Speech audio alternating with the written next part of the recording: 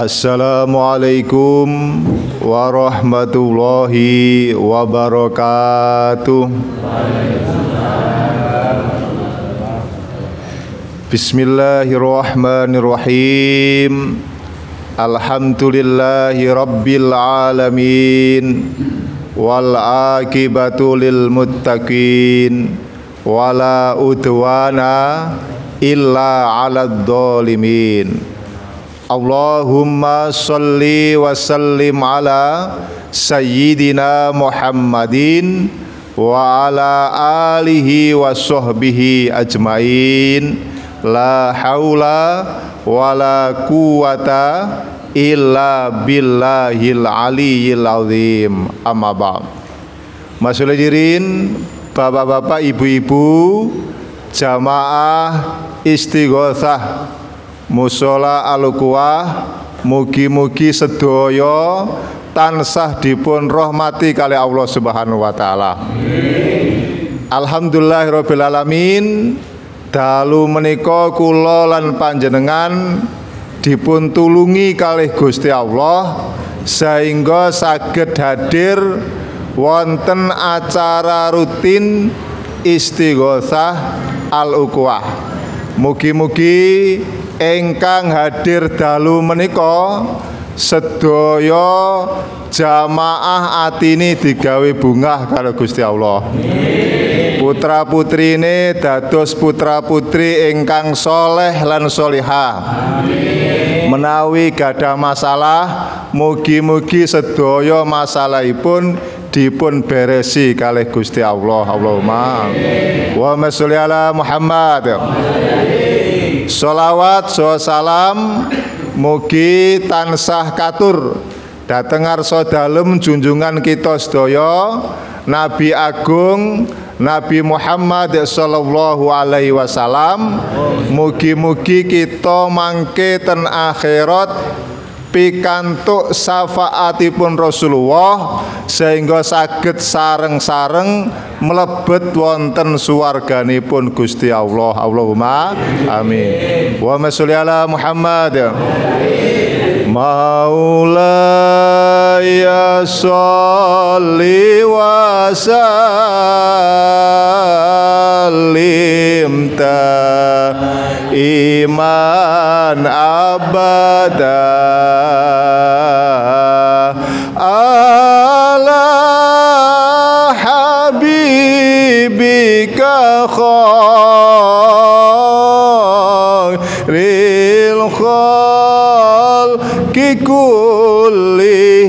মে ও আল হাবিবুল্লাদি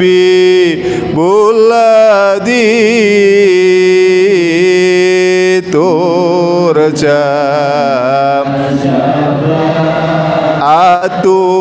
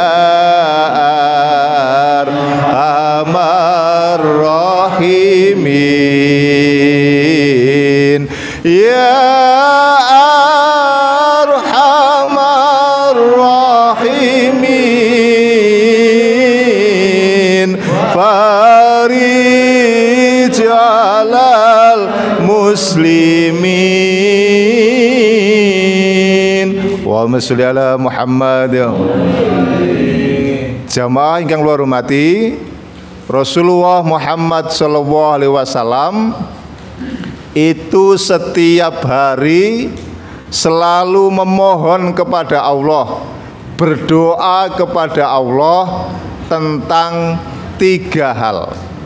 Di tiga niki tiap hari dimintakan Rasulullah kepada Allah Subhanahu wa taala. Napa dunganipun Rasulullah niki? Allahumma a'inni ala dzikrika wa syukrika wa husni ibadatik. Sampun apa Pak? Sampun? Sampun nggih? Dereng. Nggih. Nah dereng monggo dipun waos sareng-sareng nggih. Bismillahirrahmanirrahim. Monggo.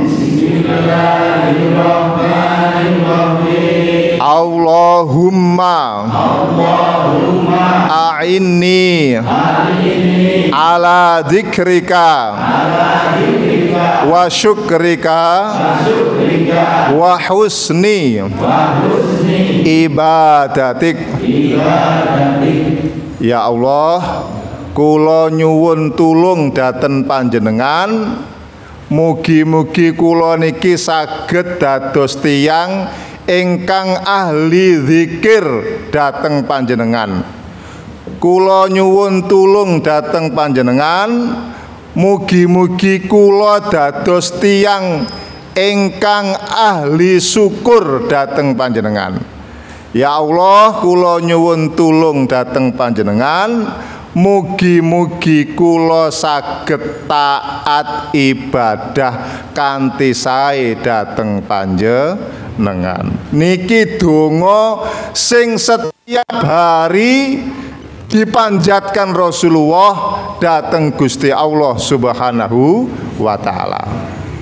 Mangkane mulai dalu menika monggo kula panjenengan niru-niru dongane Rasulullah habis sholat jangan sampai lupa Allahumma a'inni ala dzikrika wa syukrika wa husni ibadatik Kenging nopo kula jenengan kok njaluk ditulungi karo Gusti Allah dengan tiga hal niki.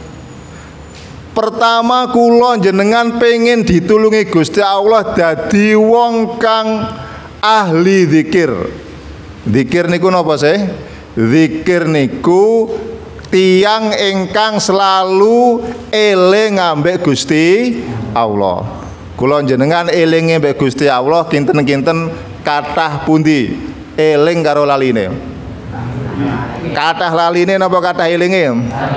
Kira-kira wis wayahe bal-balan ngono eling Gusti Allah napa eling saliyane Gusti Allah?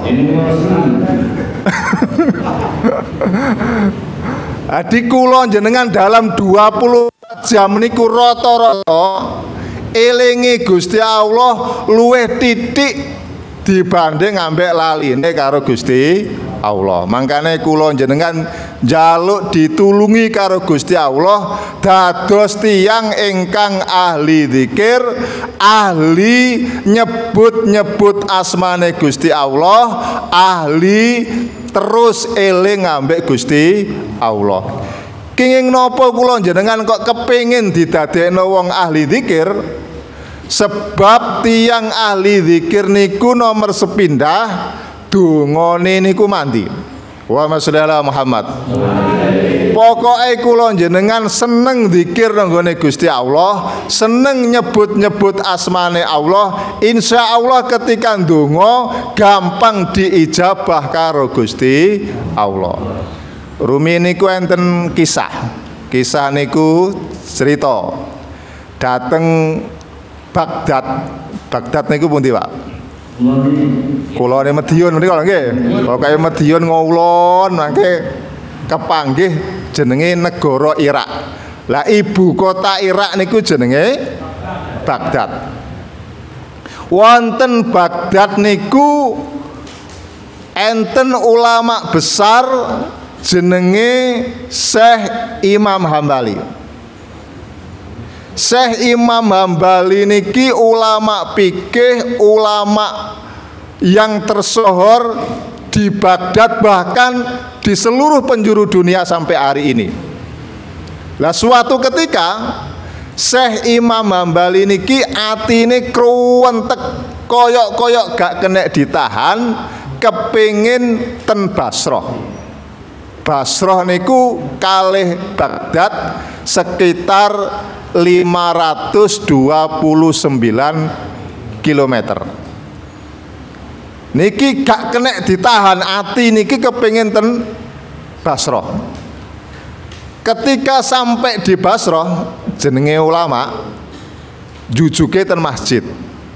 Masjid salat isya, mantun salat isya niki nggih salat-salat sunnah, bareng mari salat-salat sunnah niku karepe ulama besar niki kepengin istirahat dan masjid. Tapi rumiyin niku mboten enten foto. Sehingga mboten ngertos nak tiang sing salat ten masjid niku ulama besar jenenge Syekh Imam Hambali. Mboten ngertos. Sebab mboten ngertos tiang niku ulama besar, badhe tilem ter masjid niku langsung diusir kali marbote. Mboten angsal tilem mriki, Pak. Kula kepengin istirahat sekedap, Pak. Mboten angsal. Disurung medal saking masjid. Ten emperane masjid niku Syekh Imam Hambali niku karepe nggih kepengin istirahat ten empere. Wong jenenge mari perjalanan jauh karo marbote masjid tetep gak oleh disurung-surung gak oleh istirahat di masjid akhirnya sampai ten radosan. Ten radosan itu ditulungi kalih tiang bakul roti. Bakul roti niku ngomong pak yen boten sakit istirahat di masjid jenengan istirahat ten daleme kula mawon. Kula niki gadah griya senaosa namung walid. Alhamdulillah terus Syekh Imam Hambali. Ketika sampai pun Syekh Imam Hambali niki Bakur roti niki terus nyambut damel. Hati tepung di kei banyu, kei bumbu, mboten ngomong nopo-nopo. Nyambut damel terus. Ketika nyambut damel niku ternyata lesane bakul roti niki boten meneng-meneng zikir nanggone Gusti Allah. Sing diwaca napa? Ternyata istighfar. Astagfirullahaladzim Astagfirullahaladzim Jupuk banyu. Astagfirullahaladzim Jupuk uyah. Astagfirullahaladzim Delek banyu. Astagfirullahaladzim Pokoknya gak meneng-meneng. Gak tahu ngomong kecuali Ditakoni karo Syekh Imam Hambali wau.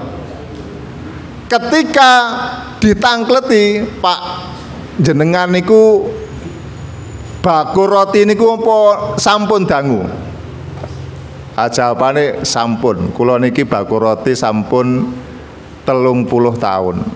Nopo jenengan niku mulai awal sampai telung puluh tahun niki nggih dikir ngoten mawon nak pas nyambut damel. Oh nggih Pak diceluk Pak lah masalahnya mboten ngertos nah iku ulama nggih kula niki pokoke kait siyen ngantos sak menika niki nggih ngeten niki lesan kula zikir terus tenggone Gusti Allah. Lha sebab napa jenengan kok nglampahi kados ngoten niku? Walah Pak. Kula niki pun buktekno khasiate zikir sedaya donga kula niku diijabah karo Gusti Allah kecuali setunggal sing dereng diijabah kali Gusti Allah. Lajeng tamu niku tanglet malih. Napa sing dereng diijabah kali Gusti Allah niku? Enggih. Kula niku nate mireng enten ulama besar jenenge Syekh Imam Hambali. Kula niku kepuingin kepanggih kali ulama besar Syekh Imam Hambali niku. Nanging ngantos detik menika kula niki dereng saged kepanggih. Ninggih niku donga kula sing dereng dikabulno karo Gusti Allah. akhirnya tamu wau langsung takbir tiga kali. Allahu Akbar Allahu Akbar Allahu Akbar. Nggih kula niki sing jenenge Syekh Imam Hambali Alhamdulillah Dadi dongane kabeh dikabul Gusti Allah sebab seneng zikir nanggone Gusti Allah makane kula jenengan terus donga nanggone Gusti Allah supados didadosake tiyang ingkang ahli zikir nanggone Gusti Allah. Muhammad Muhammad. Fadilah zikir ingkang nomor kalih nggih menika badhe diparingi ketenangan ati kalih Gusti Allah. Pokoke urip niki seneng nyebut-nyebut asmane Allah, seneng eling-eling Gusti Allah, yakin atine diayemno karo Gusti Allah. Alladzina amanu wa tatmainnu qulubuhum bi dzikrillah ala bi dzikrillahi tatmainnul qulub. Orang-orang yang beriman hatinya tenang karena berzikir kepada Allah ingatlah dengan berzikir kepada Allah hati akan menjadi tenang wa Muhammad nah. yang kedua dongo sing terus menerus dipanjatkan Rasulullah datang Gusti Allah niki supados didadosake tiang ingkang ahli syukur nanggone Gusti Allah. Syukur niku napa sih? Syukur niku artine cocok. Setuju. Cocok karo programe Gusti Allah, setuju karo keputusane Gusti Allah. Pokoke wong nek ahli syukur niku selalu cocok ambek apa sing wis diputusno karo Gusti Allah. Udan alhamdulillah. Panas alhamdulillah. Tiang niku nek mboten syukur ana udan ya ngamuk. Udan kok terus saya mbari banjir RW 10 ya. Padahal sing gawe udan iku Gusti Allah. Panas juga terima maneh. Panas juga karo-karuan sumur sat kabeh. Nah, tiang niku nak ahli syukur apa sing wis diputus karo Gusti Allah? Cocok setuju alhamdulillah. Makanya kula jenengan niku pengen didadekno wong kang ahli syukur. Nomor kali syukur niku pengertiannya loman. Wa amma bini mati rabbika pahadis tiang niku nak syukur temenan niku medite mesti hilang sing ana namung lo loman. Sebab nyadar sesadar-sadarnya dunia niku mung titipan. Supaya disenengi karo Gusti Allah titipan niku disaloro dateng tiang-tiang ingkang berhak menerima. Makanya tiang niku nak ahli syukur temenan uripe adoh saka sifat sing bakhil lah supaya dadi ahli syukur niki mangkane kula jenengan sering-sering donga tadi Allahumma aini ala dzikrika wa syukrika. Nah, sing nomor tiga wa husni ibadatik. Ya Allah, jenengan tulungi kula niki dados tiang ingkang taat ibadah tur ibadah ini ku saya sebab enten Pak ibadah ya ibadah taat ya taat tapi mboten saya contohnya ya napa? Contohnya mbok menawa ana bojone ngongkon gawe teh sing wedok Bu tulung aku gawe no teh ya budal tapi ambek ngrowemeng kaya gak duwe tangan teh njaluk gawe no teh nggih budal budal itu berarti taat tapi mboten sae. Mboten sae ini napa gremeng wau. Nah, enten ngoten niku? Tiange dugi nggih.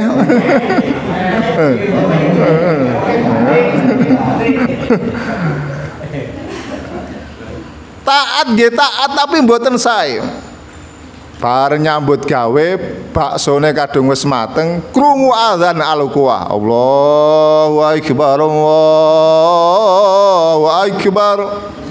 Kok wis adzan rek? Yamene wah.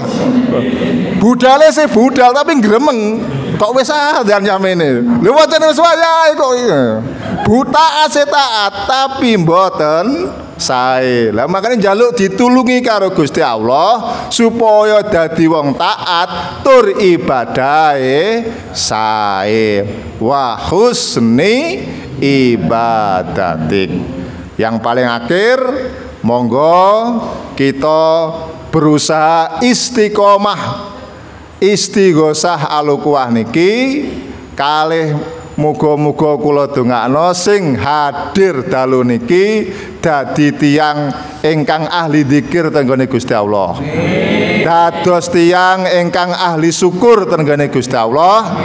Dados tiyang ingkang taat ibadah kanthi sae dhateng ngarsanipun Allah Subhanahu wa taala. Kiranya ini dapat kami sampaikan Akhirul kalam wallahu muwaffiq ila aqwamit thoriq. Wassalamualaikum warahmatullahi wabarakatuh.